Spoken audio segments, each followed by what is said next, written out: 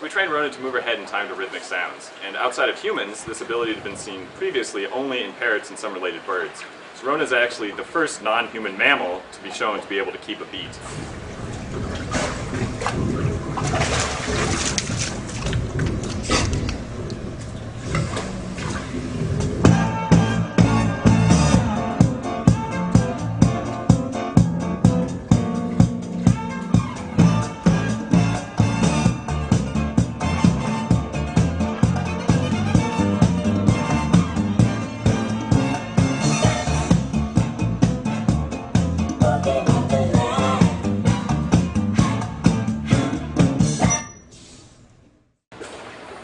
When we first trained Ronan, we used a simple repeating sound, something like a metronome.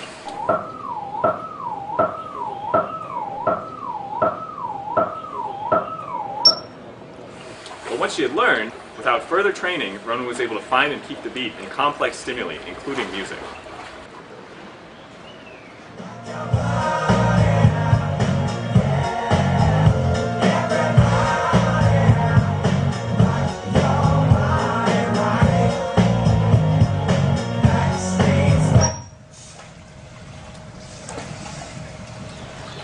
When beat keeping had been seen only in humans and some parrots, people thought that vocal mimicry might actually be a necessary precondition for rhythmic ability.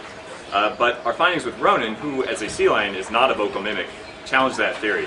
It may be that uh, rhythmic ability is much more widespread in the animal kingdom than previously thought.